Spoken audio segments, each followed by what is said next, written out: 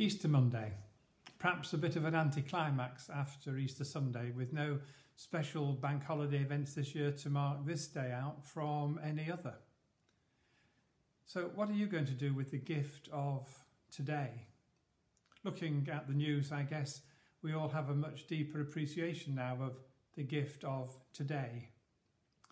I'd like to read you a few verses from the end of Matthew's Gospel, which describes what three groups of people did with their day three days after Jesus had been crucified. Now, as I'm reading this, you may like to try and pick out the three groups. Just need to say that the, the two women referred to in the reading are um, Mary Magdalene and the lady who's called the other Mary. So, Matthew 28, verses 8 to 15. So the women hurried away from the tomb, afraid yet filled with joy, and ran to tell his disciples. Suddenly, Jesus met them. Greetings, he said. They came to him, clasped his feet, and worshipped him. Then Jesus said to them, Do not be afraid. Go and tell my brothers Go to the Galilee, there you will see me. While the women were on their way, some of the guards went into the city and reported to the chief priests everything that had happened.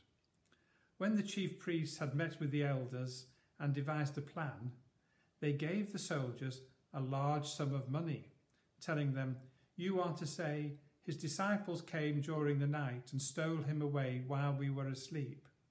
If this report gets to the governor, we will satisfy him and keep you out of trouble. So the soldiers took the money and did as they were instructed. And this story has been widely circulated among the Jews to this very day. Okay, so did you get those three groups? Well, let's leave the two women, two Marys, till the end. The first group is the guards they went to report the empty tomb to the religious leaders. They had had exactly the same experience of seeing the angel and of seeing the empty tomb as the two Marys, and they'd also had the same experience of feeling afraid.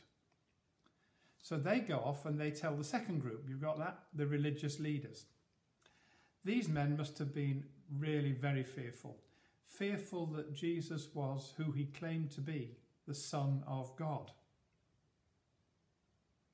And that that claim had been shown to be true by God raising him from death to life. So they've got two options. They can either accept what's happened or they can try and cover it up. They decide to, to bribe the guards to say that the disciples took the body away while they, the guards, were asleep. Pretty silly thing of the guards to do, uh, admit to being asleep on duty. So, no wonder that the guards needed, as the reading told us, a large sum of money to tell such a whopping lie. And a lie which was soon to be disproved in a, in a very big way anyway. So now we come to the third group, the women. Isn't it really significant that at every significant moment in Jesus' life is witnessed by some women.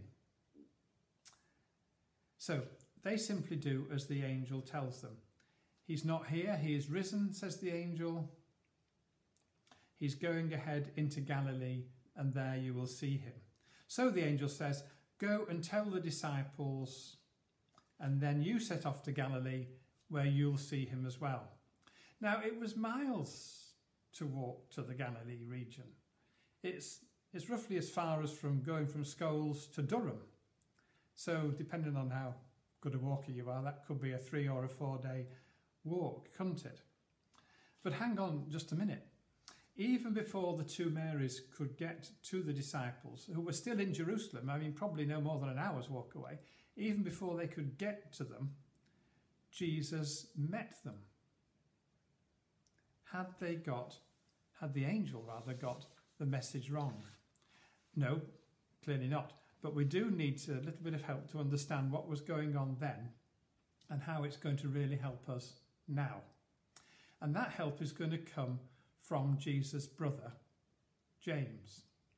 Now, James wasn't a follower of Jesus before his resurrection. And St. Paul tells us how James, like Paul himself, became a follower of Jesus. Listen to this from 1 Corinthians chapter 15, just verses 6 and 7. After his resurrection, Jesus appeared to Peter and then to the twelve. And after that, he appeared to more than 500 brothers at the same time, most of whom are still living.